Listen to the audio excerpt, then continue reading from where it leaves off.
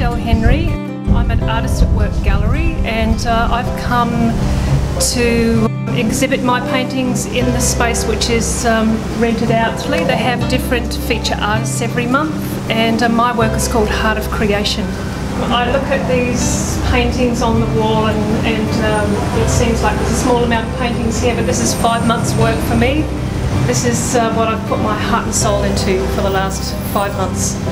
And Heart of Creation to me is about really what inspires me as an, as an artist, that I, I'm connecting to source and what is the source of beauty and the source of art and the sort of colour and the sort of the source of thought and the source of life. And I like having a bit of a theme because it, it, helps me focus on my work. I feel really lucky that I've been able to come up here to this little space because it's a beautiful little space and here we're, we're opposite Rusty's Market and uh, there's beautiful light coming in and down here there's lots of other art going on.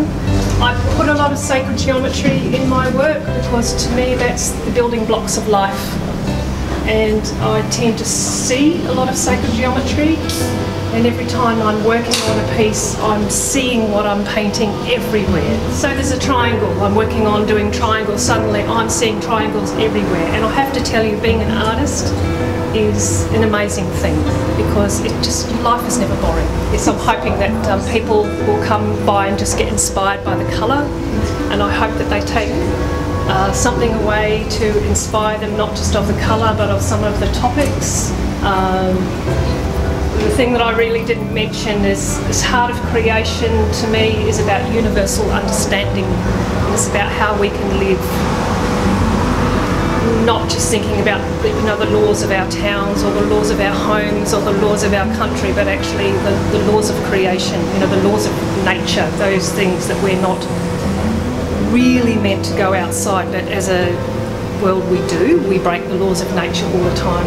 And which is why this lovely owl here is upholding universal justice and he's full of flames and he's purifying the justice and there's a little circle of people down the bottom here who are are thinking about turning their justice into divine justice. Um, they're quite little simple simple ideas, but uh, I guess it's about it's about purifying the way we think and our thoughts and uh, being kind to people.